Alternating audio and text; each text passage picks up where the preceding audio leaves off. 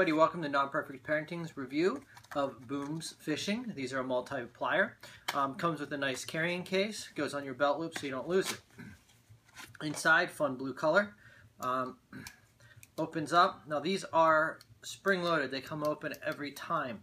You can see you have a nice hook um, here at the serrated um, teeth so that you can grab your hook to remove it from your fishy friend real easy. A couple other um, different tools you have down here for various purposes.